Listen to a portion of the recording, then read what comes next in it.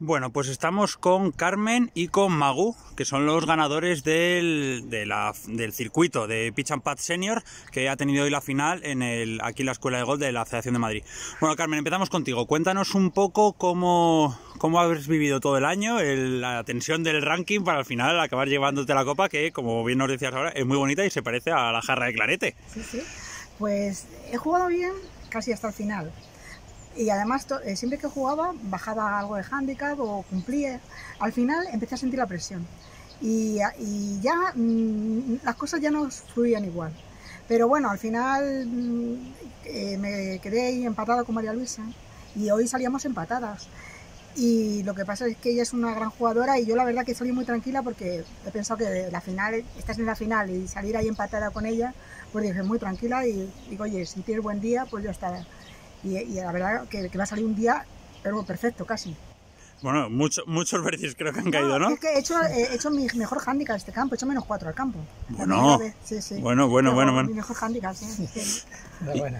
Y Magu, cuéntanos, ¿cómo ha ido, Bueno. cómo ha ido tu año? Pues el año ha sido duro porque me lo he tomado muy en serio, me he, pues- he puesto muchísima ilusión en ese torneo y lo quería ganar desde el principio y ha sido muy duro. Y además este torneo tiene una cosa muy buena, que es que a los que somos mm, malos, o sea, peores, no tenemos handicap bajos, pues nos permite eh, poder ganar un, tor- un torneo como este. O sea que facilita a los handicaps más altos el poder participar y, y competir hasta el último momento, como así ha sido. Entonces, para mí ha sido una ilusión tremenda, muchísima ilusión y con muchísimas ganas. Ha sido una gozada. ¿Y cómo ha sido en tu caso? Porque Carmen nos Bueno, contaba que ha venía- llegado con mucha tensión Claro, al final, tenía- empatada. claro, yo tenía, venía con bastantes más golpes de ventaja, pero mi primer golpe, el primer golpe de todos, he sido un rebazo y he avanzado 10 metros. Eso ha sido mi estreno. Entonces, por un momento he pensado, digo, la voy a liar parda, la voy a liar parda. Pero bueno, al final, eh, bueno, he hecho 58, me daban cuatro golpes, he hecho el par de, con mi handicap he hecho el par, y eh, razonable, y me, me lo he pasado muy bien y tenía compañeros bastante majos y así da gusto jugar.